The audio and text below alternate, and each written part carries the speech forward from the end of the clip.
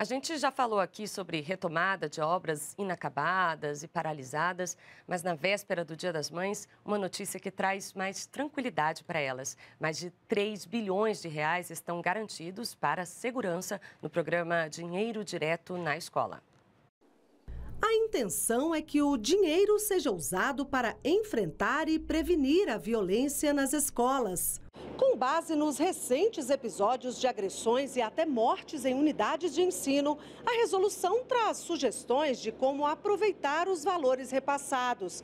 O texto sugere investimentos em infraestrutura tecnológica, como, por exemplo, a instalação de sistema de controle de entrada e saída de alunos, a aquisição de câmeras e sensores de movimento e ainda pequenas reformas para garantir, além de segurança, o bem-estar de de alunos, professores e colaboradores.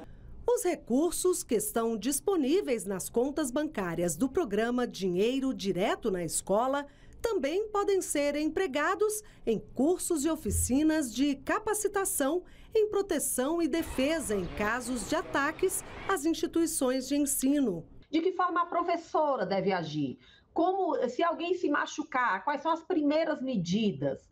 Então você precisa ter também uma escola estruturada formada, e aí é um caráter mais formativo de desenvolvimento humano, para que as pessoas estejam habilitadas a tomar as primeiras medidas. Este especialista aprova a medida do governo federal. Ele ressalta a importância de promover um ambiente que seja seguro, saudável e acolhedor nas escolas brasileiras. A escola não é aeroporto, escola não é presídio, então a escola tem que ser um lugar acolhedor, um lugar inclusivo, um lugar que chame as pessoas e, e ter continuamente cercas elétricas muito altas, detectores de metais, é, escoltas é, contínuas na porta da escola, isso pode inibir e tirar um pouco essa característica da escola de ser esse ambiente mais livre de desenvolvimento das crianças e dos jovens.